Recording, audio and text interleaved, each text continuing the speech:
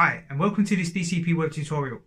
In today's tutorial I'm going to show you how to speed up video content using Magix Movie Edit Pro Plus 2020.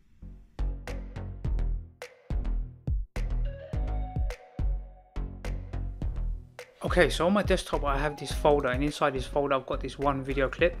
It's just a smoke simulation I did using Blender 2.8.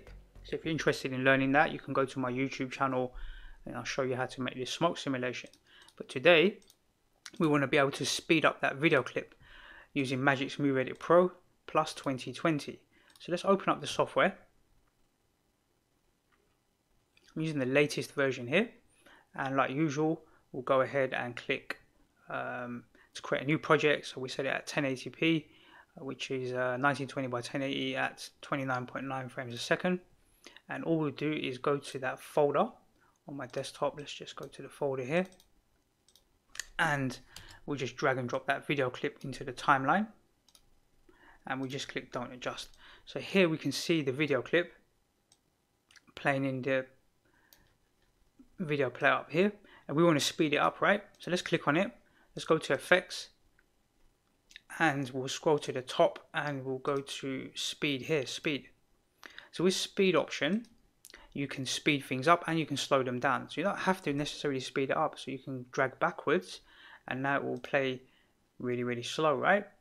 But that obviously you need more frames for it to look decent when it's playing that slow. So let's go back to the first frame and we'll speed it all the way up. So let's set it to four seconds or four times the, uh, the speed. This is four times, one will be normal speed, right? So now when we click play, you can see it's going to play really, really fast. So I reckon a good compromise is going to be around three around 3.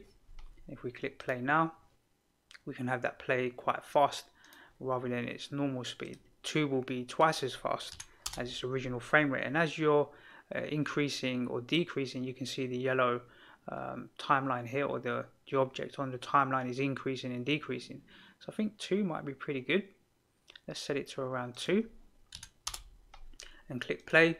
Sometimes I like to speed things up if I'm doing a demonstration, little demo video um, or time-lapse video. So imagine if you're doing a tutorial and you're showing something in Photoshop or you're doing some filming and you want to speed everything up. Sometimes you go on YouTube and you see people do like time-lapse videos of art drawings, for example. So that art drawing may have taken like 40 minutes to create, but they'll crunch it all the way down by time-lapsing, speeding it up, um, and demonstrate that video maybe in four minutes rather than 40 minutes, right? Because they've sped it up and they've cut it uh, that's this is kind of the technique that you'll use. You just speed up the content cut it all up keep speeding it up and then you'll get your 40 minutes crunched down into uh, a finite man, amount of time. So let's click on this clip. I want to show you one other little bonus tip. So sometimes I will create the video like this. I'll click here and paste it. Let's snap it to the end. I'll click that video and I'll click reverse. And sometimes when I'm demonstrating stuff I'll let it play forward like this quite fast. And then when it gets to the end it's going to do it in reverse. And sometimes it's nice to crossfade them a little bit so it will transition like that. Okay, so that's how you go about speeding up video content in Magix Movie Edit Pro Plus 2020.